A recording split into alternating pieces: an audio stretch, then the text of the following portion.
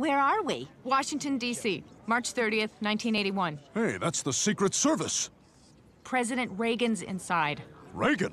He's my hero.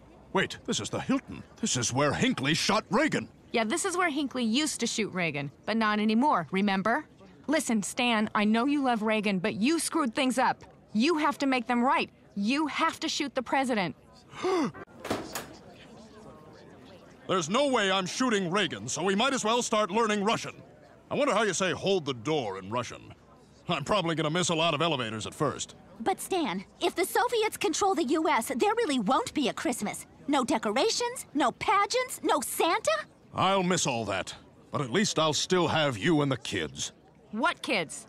If you don't fix this, you and Francine might never meet. Your kids might never be born. The future depends on what you do now.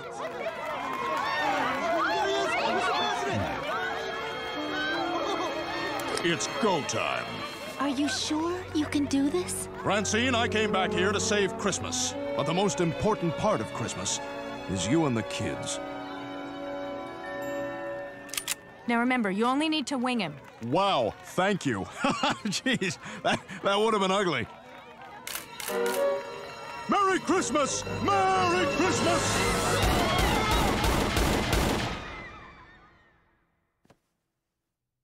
Did it work?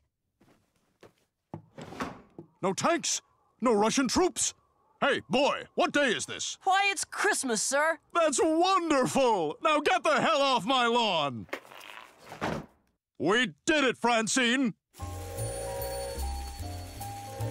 We're having Christmas after all! You fixed everything! He sure did.